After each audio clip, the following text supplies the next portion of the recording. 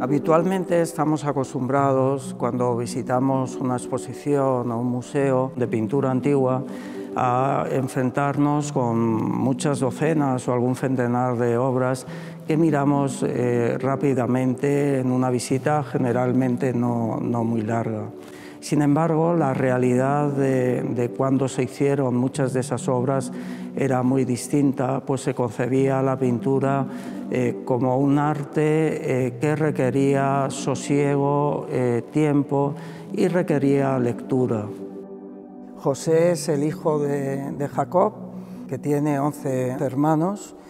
pero es el preferido por su padre. Expresión de esa preferencia es que su padre le regala las mejores vestiduras. Todo ello origina la envidia de sus hermanos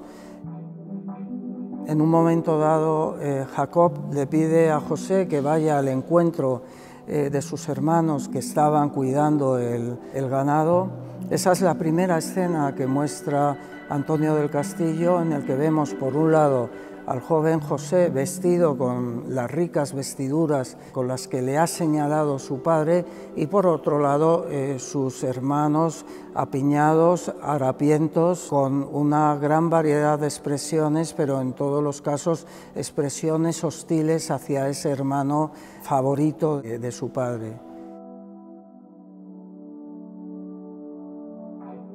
La envidia eh, les lleva a planear el asesinato de, José y eh, deciden arrojarlo a un, pozo. La intervención de uno de, esos hermanos eh, que les pide arrojarlos a un pozo seco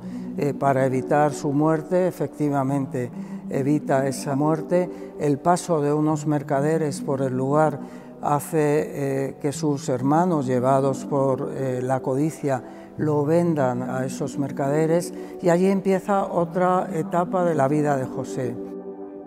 José es vendido como esclavo en, Egipto, eh, pero José, que es uno de los grandes héroes del Antiguo Testamento, da enseguida pruebas de su astucia, de su inteligencia, también de su dominio de sí mismo. La Biblia recalca que era eh, un joven de bellas facciones y esa juventud y esa eh, belleza excita el deseo de la mujer de su señor, de la mujer de Putifar. La mujer de Putifar trata de seducirlo, él eh, resiste a la tentación de esa seducción, pero acaba siendo acusado por la mujer de Putifar de exactamente lo contrario, de haber eh, tratado de seducirla a ella. La siguiente aventura y la siguiente prueba de, su, eh, de esa capacidad ocurre en la prisión a la que le ha enviado eh, Putifar, eh, una prisión que comparte con el copero y el repostero del faraón de Egipto. José, que además de ser sagaz, humilde, ingenioso, resulta que también tiene dotes adivinatorias y es capaz de interpretar correctamente los sueños del copero y del repostero del rey.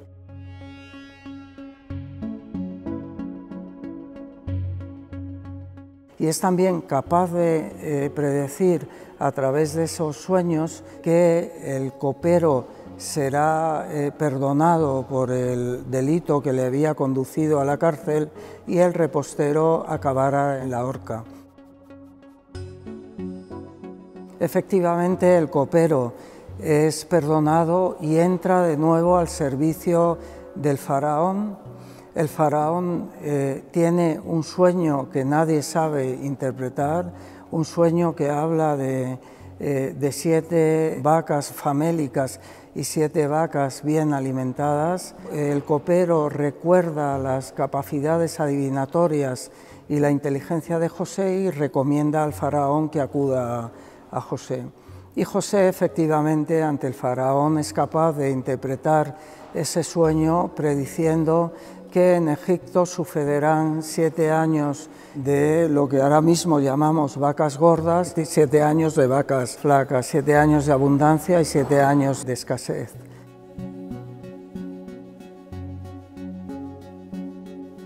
El, faraón eh, confía en la predicción de José y no solo confía en eso, sino que encarga a José el gobierno de Egipto. De manera que hasta ahora lo que vemos es eh, al hijo predilecto envidiado por sus hermanos, casi asesinado, que acaba siendo vendido por sus hermanos, pero que a través de su virtud personal, de su inteligencia y de eh, sus dotes adivinatorias, acaba convertido en la mano derecha del faraón. La historia acaba eh, recibiendo José en audiencia a sus hermanos que han acudido a, Egipto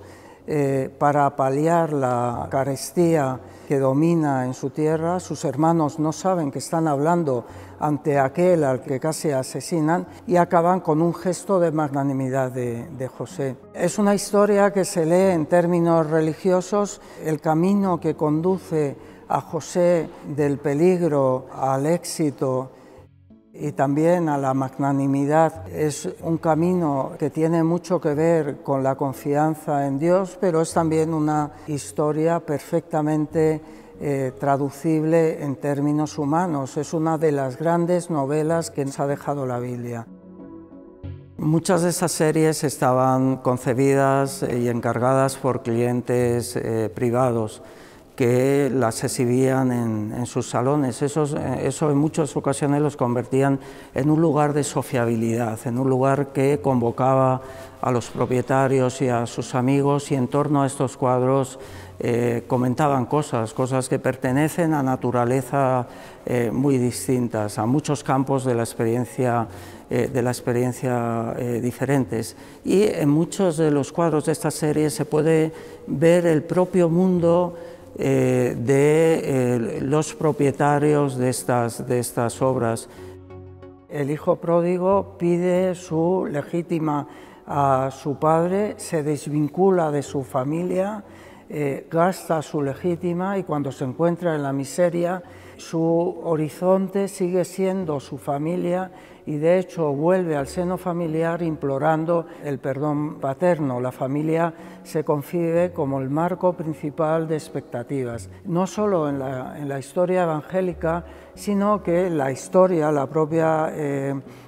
ciencia histórica nos habla eh, de que en la Sevilla del siglo XVII la estructura social es una estructura básicamente familiar. Cuando vemos en la historia del hijo pródigo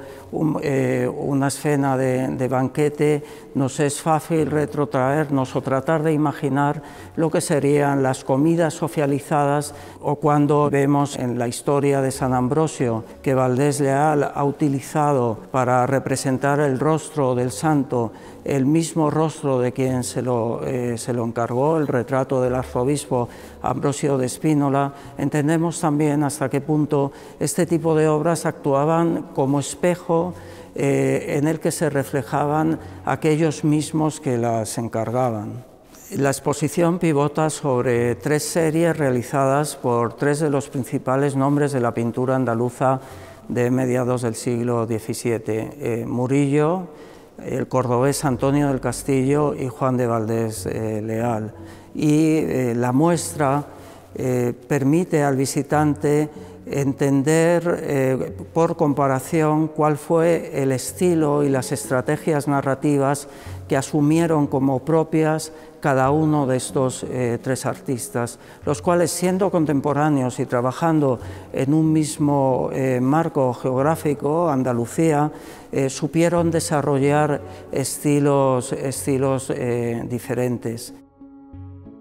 Hasta qué punto es diferente el estilo y la técnica a la hora de narrar de Antonio del Castillo, muy prolijo, eh, con un gran dominio del dibujo, pero al, mismo tiempo muy interesado por la descripción morosa de las cosas y que da mucha importancia al paisaje. Eh, Antonio del Castillo es uno de los nombres importantes a la hora de entender la historia del paisaje en, en España Puede comparar eso con Murillo, que es mucho más contenido desde un punto de vista expresivo, es mucho más liberal desde un punto de vista de la escritura pictórica, no es tan minucioso ni, ni está tan encorsetado por la obligación del detalle como Castillo y esa libertad de factura la lleva a un estadio un poco más allá Valdés Leal, que hace de ella una de sus banderas estéticas.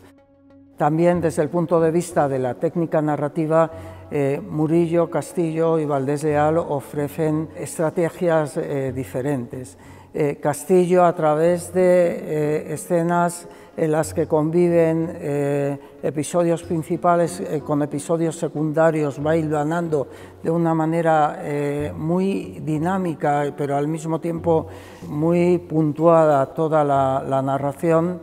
Murillo se permite una mayor libertad a la hora de, relacionar los diferentes episodios de la narración, no necesita estar buscando en un episodio eh, llaves que te lleven al siguiente, al siguiente episodio y algo similar ocurre con Valdés Leal. Eh, cuando nos enfrentamos a una eh, pintura antigua tenemos que tener en cuenta dos cosas. Por un lado, eh, que tenían un componente narrativo muy importante, que contaban una historia generalmente a través de esa a través de, la pintura y que su estilo, eh, los instrumentos estilísticos que utilizaban no son ajenos a la historia que se contaban. Hay una relación eh, íntima entre, entre narración pictórica entre eh, estilo pictórico y entre eficacia eh, narrativa. Y el visitante lo podrá ver eh, perfectamente en la exposición comparando la manera de describir, la, escritura pictórica, la manera de narrar de Antonio del Castillo con la de Murillo o con la, de, de, de Valdés Leal y entendiendo cómo esas fórmulas dan lugar a tipos de narración, a maneras de contar distintas y específicas de cada uno de ellos.